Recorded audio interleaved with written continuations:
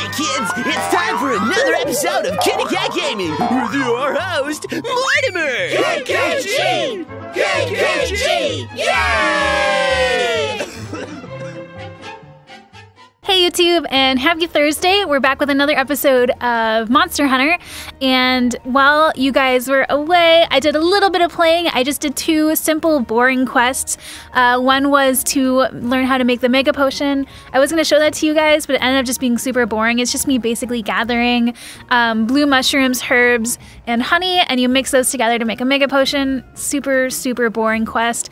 Uh, the next quest I completed on my own was just a gathering mission for some mushrooms mushrooms. You're literally just going around and gathering up mushrooms. So I got those two out of the way for us. So this time we can actually start doing some real quests. And we just got a request from the chef uh, who wants us to slay some Konchu. But first, I'm going to go and see if I can upgrade my insect glaive to see if I can get a stronger weapon because Konchu shells are very hard and they make your weapon go dull very fast. So we're going to see the man forge. Uh, we're going to upgrade equipment. There we go. All right, I get it. So we can give nectar to our insect, um, and it's basically the way to power up the insect. You see that growth bar? Uh, every time that that's filled up, you can actually upgrade your insect. It's kind of like evolving it like a Pokemon. Um, so depending on what nectar you give it, it affects how strong your insect is um, and how fast it is and things like that. Um, so for example, Power Nectar Fire would help with fire resistance and just fire power. And power plus nectar uh, actually makes the weapon stronger, but when you make it stronger, you also make it slower. Uh, so I'm just gonna go ahead and give it all of these because it's just so early. Um, and we cannot upgrade it until that bar is full, so we can't do anything new.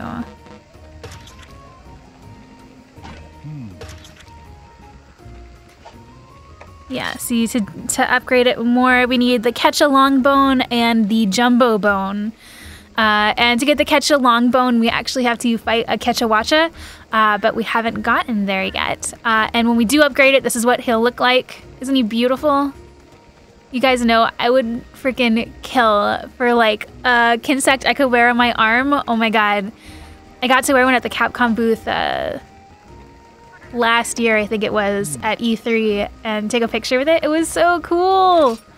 Uh, and you can level up your armor, uh, but I don't have any armor spears with me because it's so early in the game, so I really can't upgrade anything yet. And you can make all kinds of cool weapons and headgear for your kitty, uh, but unfortunately, I haven't gotten that far in the game yet to unlock them, so he just has the generic outfit. And that's Mochi. Alright, well, we tried our best to upgrade our weapons, so we're just gonna go ahead and take that Konchu quest with what we got.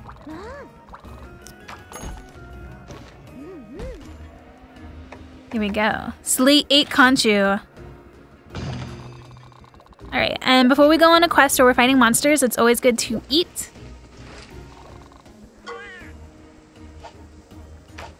So you can choose all kinds of ingredients. It's on the bottom screen, you guys can't see it. Uh, but it's basically you just pick and choose what ingredients you want and you check out the abilities they give you. And if they're abilities that you need, then you eat that meal. Uh, so I'm just to go ahead. I usually just get a meat and a fish and that says it speeds up sharpening time and it helps your weapon retain sharpness when attacks are deflected, which is perfect. And this is really great because it helps you sharpen your weapon faster because when you fight Konchu, it gets dull really fast because their shells are very hard. And it also has deflector, which means that every time it bounces off their their backs and their um, armor, it doesn't do more damage on making your sword mold, more dull. So this is perfect for us. I'm gonna eat that. And there's this whole cutscene uh, I guess I won't skip it for the first time so you guys can kind of see it because it's cute. Uh, but it's usually, this is a very long cutscene and it happens every single time you eat. Uh, so you can skip this and I highly recommend it. They don't show the cutscene at all during a uh, multiplayer, so. And it looks like all of my effects were activated. Uh, check what I have in my box, make sure I have everything I need. I don't need these.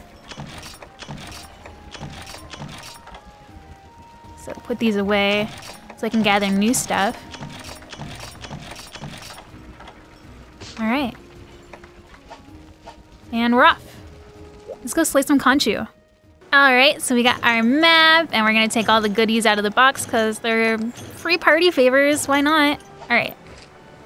And I'm gonna go ahead and I'm gonna eat some rations now so that uh, I can have a little bit more stamina to run farther. And we're off.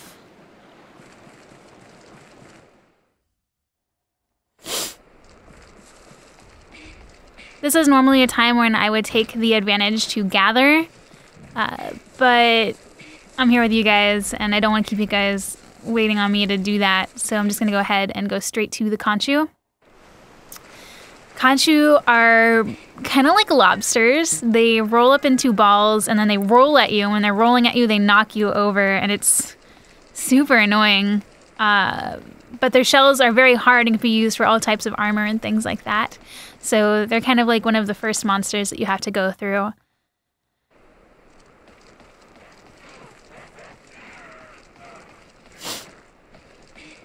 Now, the areas can seem a little bit daunting at first because there's a lot and you don't know where to go or things like that. Uh, but don't worry about it. You'll learn the terrain pretty fast. It's it just looks intimidating, but the more you play, the more you learn and uh, you'll start to realize where things are located. So, say if you need honey really bad, you'll know exactly where the honey spawns, things like that. Look, and there's our Konchu buddy. Tell me that wouldn't be really cool taxidermy. That'd be so cool. Hmm. All right. So once you knock them over, you can see their soft underbellies, and that's when you attack. And let's see, I got two down.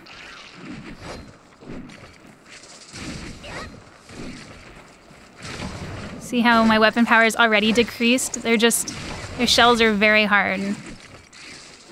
Wow, they're just spawning on top of me. How easy is this? All right, well, I should start carving some of these guys before they start disappearing. Yes, armor sphere. Okay, so armor spheres are what you use to upgrade your armor. So it's very important to get those. And I got some Konchu shell, which I can use for upgrading items or making items. All right, all right, all right. See you.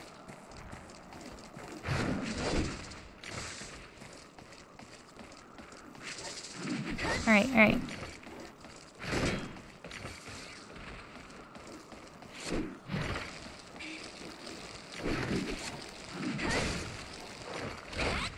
God damn it.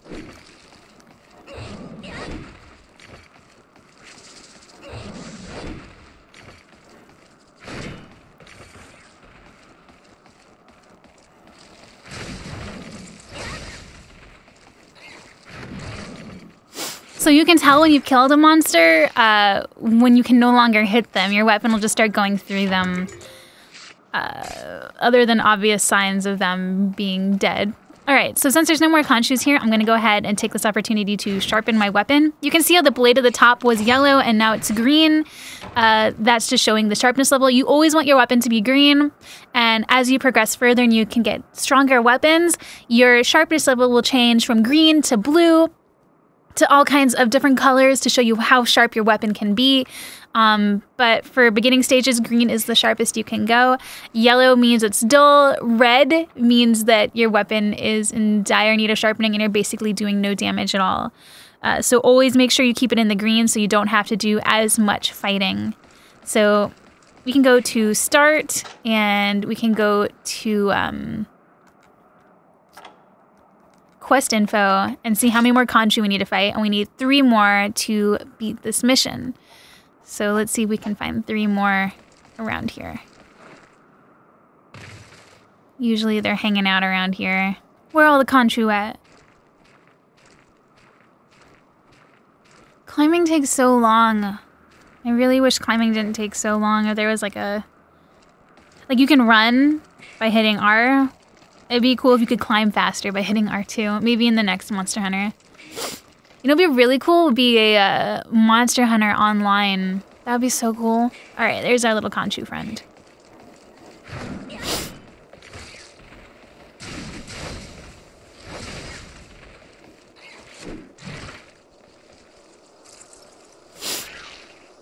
Hi there.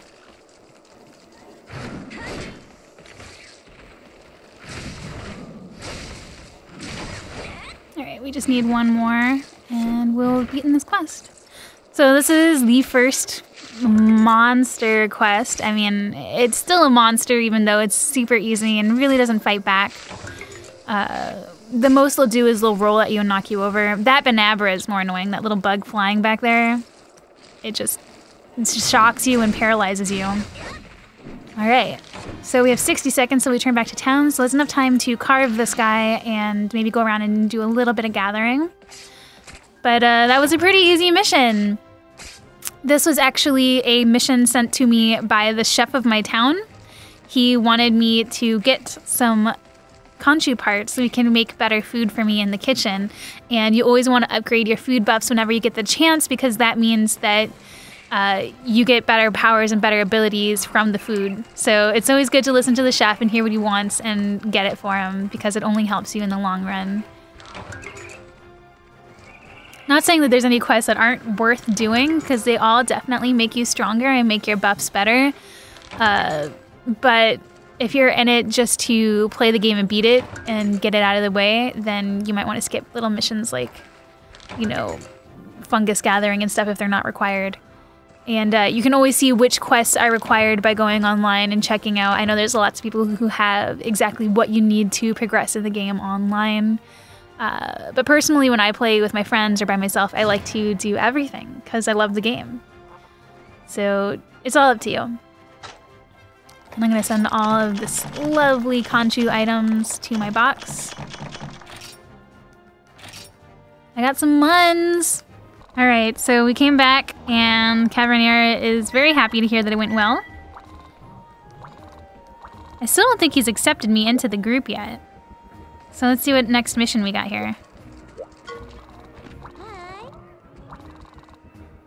All right, all right, tell me what I got. Ah, nothing new. I gotta talk to people first. How dull. Oh, I remember this girl. She wants me to fight uh, some jaggies. And at this point, I just kind of passed it, but the people of the town don't really know me. I'm still trying to prove myself to them. So instead of saying my name, that girl just called me the hunter with the eyebrows. Um, and no matter if you're playing a boy or a girl, they still call you the hunter with the eyebrows. So I think it's kind of cute. It's a Japanese thing, but uh, just basically talking to everybody and getting this out of the way. There's really no one talking to you when you're playing uh, like this. This is just beginning of the game type stuff, so don't worry about having to talk to a lot of people. Uh, it's just early game. They're just explaining how the game works to you.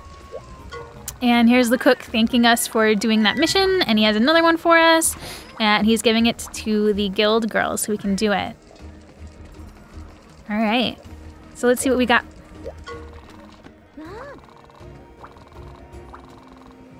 We got a ton of new missions. All right, we got Lair Scare, slay eight Jaggy, Extraction Gargwa, where you deliver two Gargwa eggs, Sushi Fist, SOS, and uh, that's fishing, which is super relaxing and calming, and the Stinking Seltas, uh, which is hunting a Seltas, which is this big, big beetle bug flying insect. I mean, I'm not really sure what you would call it. It's kind of like a mosquito, kind of like a beetle. Uh, and that is our first real monster. And we're gonna be doing that next time on another episode of KKG. So I hope you guys enjoyed this episode. If you guys have any questions or comments, go ahead and leave those down below. And please don't forget to hit that subscribe button. I have so many more awesome videos coming your guys' way that you don't want to miss. And I'll see you guys on next time. Bye, everybody.